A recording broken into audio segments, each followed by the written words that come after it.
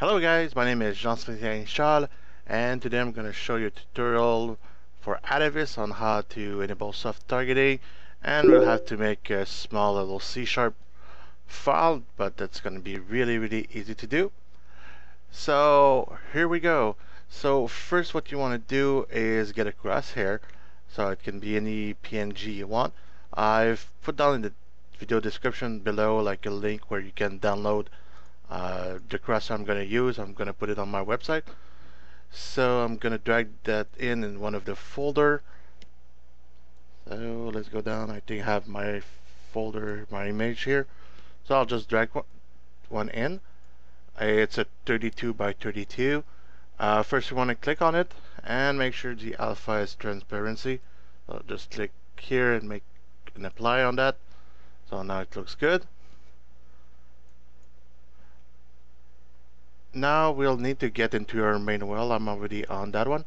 Go to your main camera here and I've closed a couple of scripts but if you go to the Atavism third person input uh, make sure like values are about the same as mine uh, you cannot always fiddle with them when you're playing the scene and under here you have the SDE targeting script uh, if it's not in the list you'll have to add a component and just do the SDE targeting and just add that component to your to your inspector here so make sure you have soft target mode on and loose lock on so both have to be on to make it work correctly Next, what you want to do is open here, the main camera, go under UI, and click Add a Component.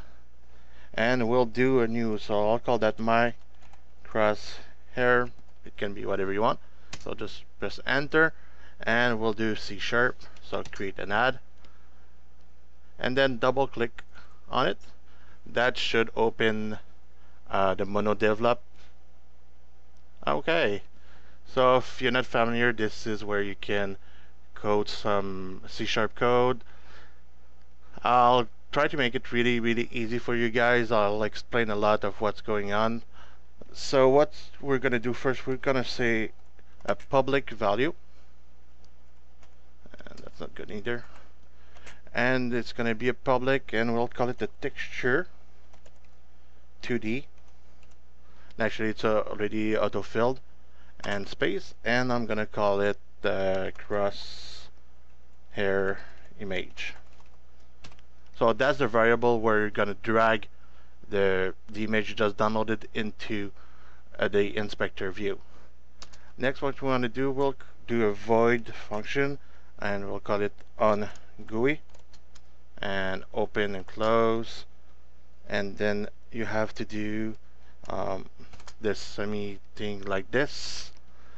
Then what you want to do is float x min. Sorry like this looks better. Equal uh, screen dot width.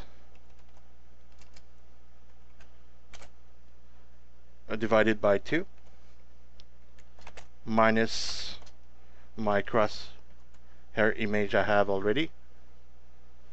Crosshair image dot width.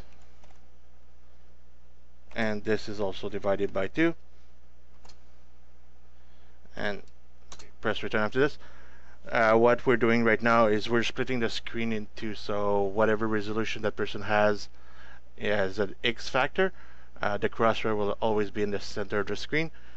We'll do the same thing with the height of the screen so let's do another one. So float and this one's going to be the y min equal screen dot and height divided by 2 minus my crosshair image.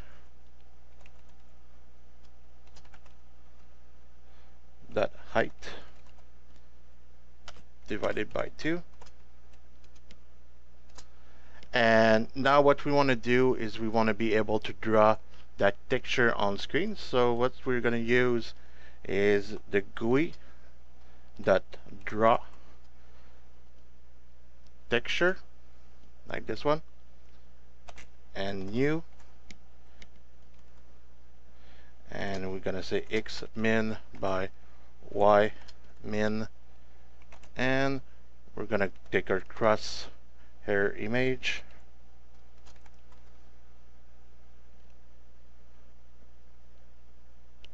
Uh, that width sorry. So.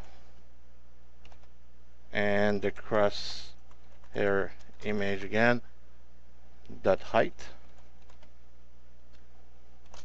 And that's your value from cross hair image.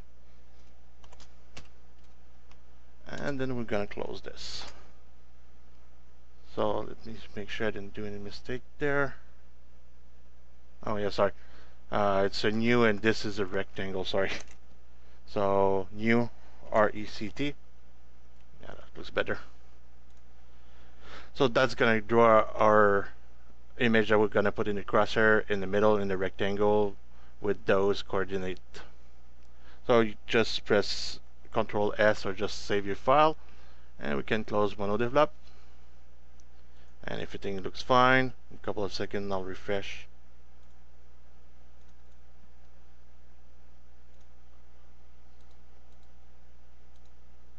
And here we have our crosshair image here so what you'll want to do is get the PNG and just drag it in the screen like this. And we can just do save. We'll go to our scene.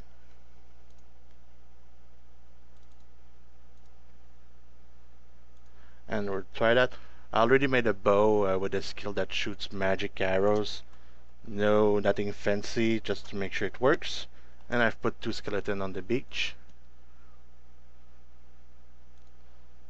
So that's a bow I took on the Unity Asset Storage tree. So as you can see I have now a crosshair in the middle of the screen. And if I go towards the skeleton whenever I'm over it you can see like and if I attack him and I can go to the second one and try to attack it. And this one back and this one and I guess I'm gonna die yeah well actually I just died because I was really bad at it. But that gives you a basic idea how to use soft targeting. So if you have any question any comments please leave them below in the comment section. Once again my name is Jean-Sébastien Chasle thank you for watching. Bye bye